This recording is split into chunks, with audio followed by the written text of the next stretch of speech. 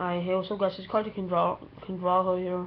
Um, I'm just, um, making a video about tomorrow because I'm going to Airsoft tomorrow. And, um, I'm probably going to be making a video for YouTube tomorrow, and it's just going to be a lot stressful because my friend's going to be going to, and I have to do a lot of stuff, so I'm probably going to go try to make a good video tomorrow.